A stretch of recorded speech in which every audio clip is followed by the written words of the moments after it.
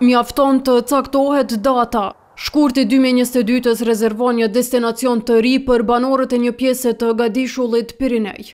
Të paktën prej aeroportit të Barcelonës, Bilbaos, Malagas, Palma de Mallorcës e Valencias do të mund të fluturohet direkt e në Prishtinë. Kështu të paktën paralajmërohet në faqen zyrtare të kompanisë ajrore evropiane Eurowings se Spanja për herë të parë do të ketë fluturime direkte drejt Kosovës, vendit që nuk ia njeh as shtetësinë. Kësisoj nuk ia njeh as pasaportën, e që nga drejtues të aviokompanive mund të ndodhë shpejt siç ka ndodhur edhe me shtete të tjera mosnjohëse. Shpejt do të thotë besoj që deri në verën e ardhshme Kosova do të ketë mundësi të paktën të lëvizë, të paktën njohja e pasaportave, të cilat në shtete tjera të Bashkësisë Evropiane, siç është Greqia, nuk ka ndonjë problem, do të thotë ata të cilët pajisen me viza.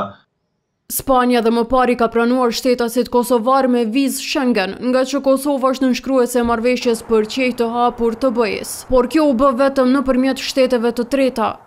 E udhëtime deri tashti u bënë rrallë për qëllime tjera pos artit e sportit dhe atë kryesisht nga tifozët e ekipeve më të mëdha spanjolle, Real Madrid e Barcelona.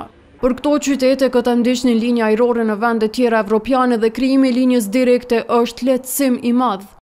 Dhe do të ishte një ndryshim jashtëzakonisht pozitiv. Unë kam shku dy herë përmes Zvicrës, pra me përmes linjave të ndryshme, me vizë Shengen, duke edhe rrezikuar për të marrë pjesë dhe përfaqësuar Kosovën në Kongresin e Fansave Botëror, Fansave Botëror të Barcelonës që mbahet çdo vit në kuadër të Trofeut Joan Gamper.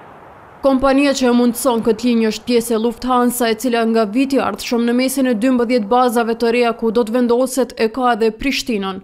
Por nëse udhëtimi në ajër po i paraprin një njohjeje nga Spanja, Klani nuk arriti të marrë një përgjigje nga Ministria e Punëve të Jashtme gjatë kësaj të diele, edhe për të kuptuar nëse diplomacitë e dy vendeve e kanë diskutuar këtë çështje.